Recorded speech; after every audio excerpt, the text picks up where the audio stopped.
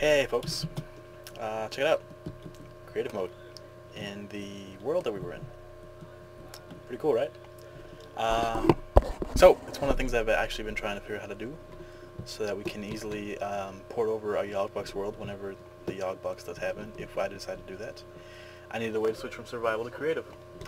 And so I found out a very, very, very good and well-made tutorial by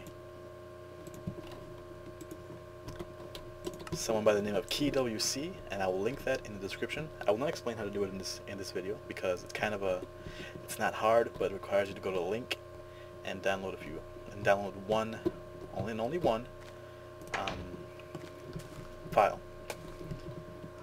And it's pretty simple how to figure it out otherwise. So, yeah. So if you're trying to figure out how to turn your creative world into survival world, or survival world into creative world, um, follow the link in the description below. Also, our uh, mob mob spawner is progressing well. I've I'm, I've almost I'm al I've almost met up the the um